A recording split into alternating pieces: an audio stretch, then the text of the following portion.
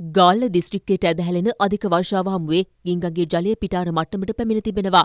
තවලම නෙළුව ලංකාගම හා නියාගම යන ප්‍රදේශවලට වැඩිම වර්ෂාපතනයක් ඇදහැලී ඇති බවයි වාර්තා වන්නේ.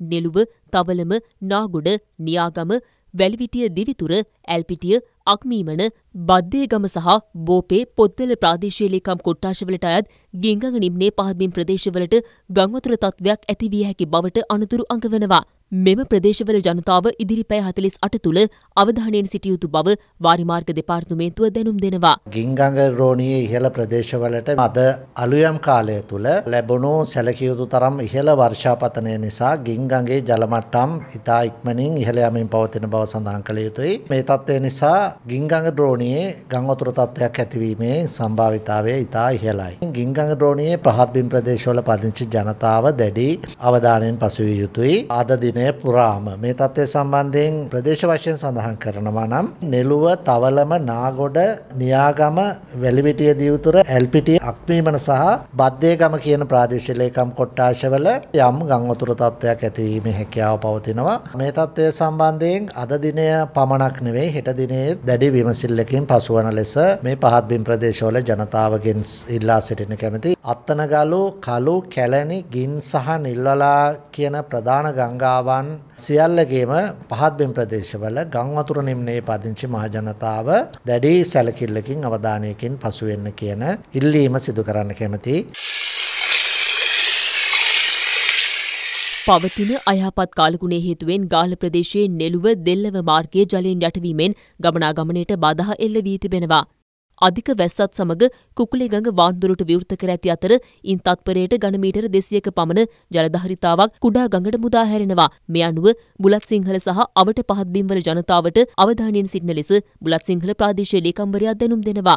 මේ වන විටත් කුඩා ගඟ පිටාර ගැලීමෙන් බුලත් සිංහල මෝල්කව ප්‍රධාන මාර්ගයේ ස්ථාන කිහිපයක් ජලයෙන් යට වී තිබෙනවා. බුලත් සිංහල කළුතර ප්‍රධාන මාර්ගයේ ප්‍රදේශ කිහිපයක්ද ජලයෙන් යට වී ගමනාගමනය ඇනහිට ඇති බවයි අප වාර්තාකරු පවසන්නේ.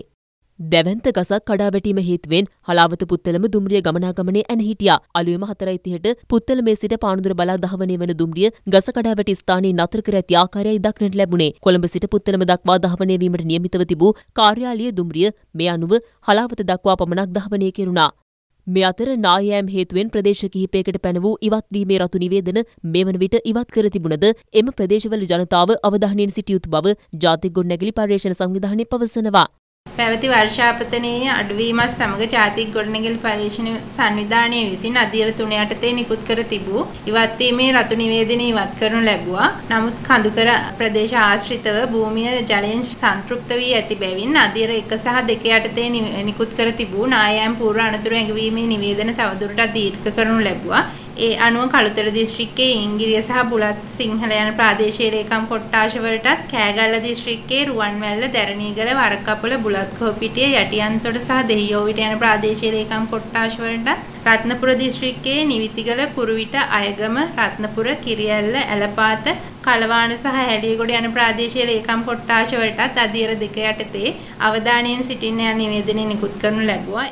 අද දිනේද බස්නාහිර සහ සබරගමු ප්‍රදේශ ඇතුළු ස්ථාන රැසකට තද වැසි ඇතිවන බව කාලගුණ විද්‍යා දෙපාර්තමේන්තුව පවසනවා. පහුගිය දිනවල තිබ්බ වැසි තත්ත්වය දැන් ක්‍රමක්‍රමයෙන් අඩුවීමකට ලක් වෙනවා. මේ தත්ත්වය බොහෝ විට හෙට දිනේන් පස්සේ ප්‍රමාණාත්මක අඩුවීමක් තමයි අපි අපේක්ෂා කරන්නේ. කෙසේ නමුත් තරමක තදවැසි අපි අපේක්ෂා කරනවා බස්නාහිර, සබරගමු, ගාල්ල, මාතර වගේ දිස්ත්‍රික්කවල සාමාන්‍ය මිලිමීටර් 75ක පමණ වර්ෂාපතන ලැබීමේ හැකියාවන් තියෙනවා. ඊට අමතරව මේ වර්ෂාවත් එක්ක తాවකාලිකව තද සුළං සහ අකුණු අනතුරු ඇතිවීමේ හැකියාවන් තියෙනවා. මේ පිළිබඳ අවධානය යොමු කරන්න කියන ඉල්ලීම අපි ජනතාවගෙන් ඉල්ලා සිටිනවා. දිවිනේ සෙසු පළාත් ගත්තොත් නැගෙනහිර සහ ඌවත් උතුරු මැද වගේ පළාත්වල සන්ධ්‍යා කාලයේ හෝ රාත්‍රී කාලයේ වැසි හෝ ගිගුරුන් සහිත වැස් තත්ත්වයන් නිර්මාණය වීමේ හැකියාවන් තියෙනවා. දිවයින හරහා තියෙන සුළං තත්ත්වයේත් වැඩිවීමක් තියෙනවා. මේ තත්ත්වය බොහෝ විට බලපාන්නේ මධ්‍යම කඳුකරේ බටහිර බෑම් පැත්ත, උතුරු උතුරු මැද, වයඹ සහ හම්බන්තොට දිස්ත්‍රික්කවලත් මේ තත්ත්වය තියෙනවා. සාමාන්‍යයෙන් සුළඟ ප්‍රධාන වශයෙන්ම නිර්දිශයෙන් හමන්නේ සුළඟේ වේගය පැයට කිලෝමීටර් 30 40 දක්වා ඉහළ යෑමේ තත්ත්වයන් තියෙනවා.